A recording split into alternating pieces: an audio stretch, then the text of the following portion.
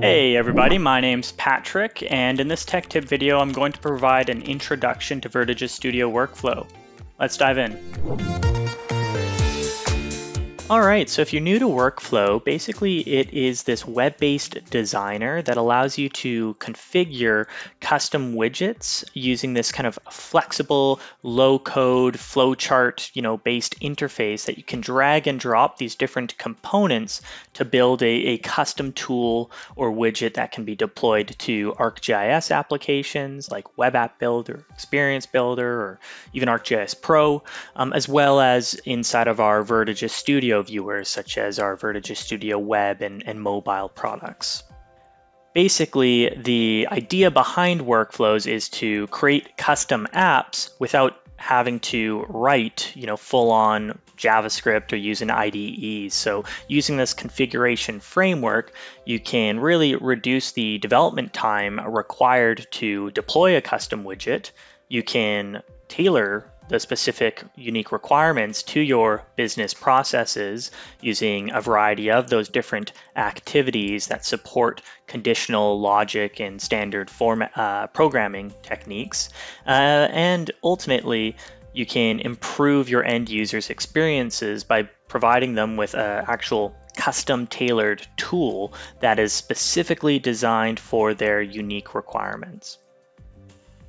Additionally, the workflow tool allows you to even go further and provides opportunities to integrate with different business systems or REST APIs or databases. There's a forms engine that's built into the product that allows you to create these dynamic forms that your end users can interact with. And as I mentioned earlier, there's very versatile deployment options. So you can create a workflow and add it to Web App Builder, but you can also take for the most part, that same workflow and then add it to our VertiGIS Studio web product or run it in an offline state in our VertiGIS Studio mobile tool as well. All right, so here you can see we're in Web App Builder and I've added a few out of the box widgets such as the you know, layer list control and the select features tool, but I've also added a couple of custom widgets here as well. Um, using uh, our workflow products. So here, you know, I've got some widgets for querying features, searching for features, and adding new features onto the map. Uh, in this scenario, let's run this workflow for querying water lines specifically um, based on these different uh, user input parameters. So I know Web App Builder has an out-of-the-box query widget tool, but the nice thing with the workflow product is you can really tailor these forms based on your end user's you know requirements and really trying to make this operation for searching for features really intuitive for non-GIS users. So in this scenario, I've given the user the option to search for water lines by filtering features based on the map extent, based on the uh, installation date. So we could toggle this on and off if we wanted to. So maybe we were interested in finding all the water lines, I don't know, within the last five years or so. I could also filter water lines based on the diameter size. So maybe we want to find all of the water lines that are greater than or equal to 300 millimeters in diameter based on the system and the material. And all of these values can be being can be populated based on the coded value domains of your layers, or they can be you know, included and customized in the underlying workflow form. Um, here, let's maybe just run a simple query just to find all the water lines, you know, based on the map extent and nothing else. If I click query here, you're going to see we're going to return 167 water lines that are being highlighted in the map. Uh, let's maybe instead search for water lines that are within the map extent, but are also of type cast iron. I'm gonna go ahead and click query. And now you can see we have 83 water lines that are selected. And if we zoom in, you can see um, they're being highlighted on the map as well. Um, and they're all of cast iron. So this is a, a, really nice example of a way that you can build a, a custom widget and deploy that to your end users to really streamline the process for searching for a given asset on the map.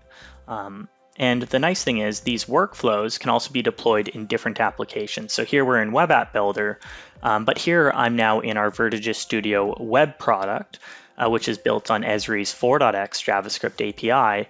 Um, and here I've also added a couple of other workflows for doing different operations like integrating with different REST APIs or adding new features on the map to generating directions from different locations to generating demographic charts through some analysis to filtering data on the map and so on. But here we can see this is our query widget tool.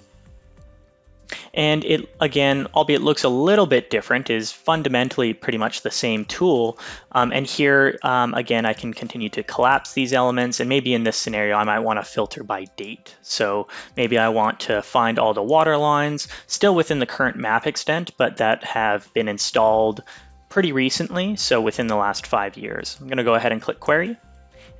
And again here, this is going to return those results, highlight the underlying water lines on the map, and we can see we've got nine water lines that have been returned. Um, and if we scroll to the right here, we can see this is the underlying installation dates for each of these individual features. And you can continue to uh, pull in that attribute information uh, accordingly. Um, so again, that's the, the, you know pretty much the same workflow running in Vertigis Studio Web. Um, and also, if we wanted to jump to our Vertigis Studio Mobile product, here we can see I'm now in an offline application where I've actually downloaded some of this uh, data offline, and I've created a, a custom tool using our workflow products to make it easy for my actual field workers when they're offline to search for assets using the same kind of query tool that we're seeing here.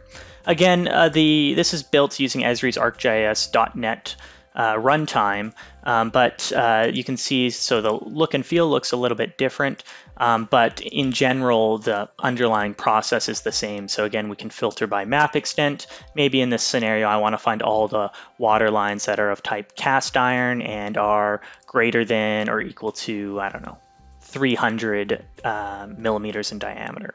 So I'm going to go ahead and click query. And here you can see we've got 73 results.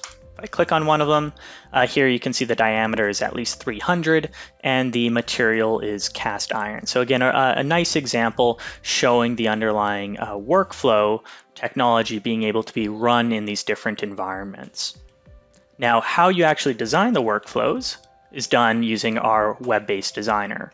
So in order to get access to that web-based designer, you can navigate to apps.vertigisstudio.com. And here you can see some of our other products. Um, you know, here I mentioned our Vertigis Studio web and, and mobile tools, but we're gonna go ahead and launch the Vertigis Studio workflow product. This will take us to our web-based uh, SaaS uh, interface. You can also install this on-premise. Um, and I'll just sign out there because it single signed me on. But basically here you have the ability to log in with ArcGIS Online or ArcGIS Enterprise. Let's log in with ArcGIS Online. And then once I've actually authenticated, I'll then have access to the web-based designer where I can then choose the type of workflow that I want to develop. So I can create a workflow for our web products, for mobile, or for web app builder and so on. I can also look at last modified workflows. So these are workflows stored within my ArcGIS Online content that I've been working on. And this is specifically the query workflow that we just ran. Um, so in this scenario here, the idea behind workflows is our developers configure these activities that you can drag and drop onto the design surface, um, whether you want to get the current logged in user to other you know, different programming operations like doing if statements and for each loops to more GIS operations like doing buffers or querying layers or get maybe mobile operations where you want to get the field workers location. There's a large library of activities here from doing feature editing to issuing web requests um, that I encourage you to check out and we'll be covering some of these throughout the, the rest of these tech tip videos. Um, but in general, the idea is you can drag and drop them onto the design surface and then um, you know provide some inputs to them they'll perform some logic and then give you an, an output which you can then pass from one activity to another. Um, the nice thing too is as you design these workflows, they're easy to share with uh, different users. So you don't have to be a hardcore JavaScript developer to actually understand a workflow. In this scenario, I can see I've got a form. If Inside of the form, there's different form elements. Um, so here you can customize the different form elements uh, uh, available. And again, by dragging and dropping Maybe I want to include the option to upload a file, or maybe have the option to select some geometry on the map to filter these water lines by, or maybe you know provide a, a number range uh, to, to filter the, the data by. The idea is you can kind of drag and drop these adjust some properties for them, and then ultimately save and publish these as custom widgets for your end users. So again, going back, here I'm inside of this form. We can see if the user selects the option to query, um, then we will perform the query. If no features are found, then we can we'll present the user with an alert to try again. But if we do have features, basically if this is false, we'll then show some results to the features based on the query um, that they configured in the form. Um, and then lastly, when you're happy with a workflow and you save it, it's going to get stored back inside of ArcGIS Online or ArcGIS Enterprise as an item that you can then share with different groups of users. So hopefully that gave you a brief introduction to Vertigis Studio workflow, and I encourage you to watch some of our other tech tip videos to learn more. Bye for now. Never miss the Vertigis Studio Tech Tip. Like and subscribe below. And as always, you can learn more by visiting vertigis.com.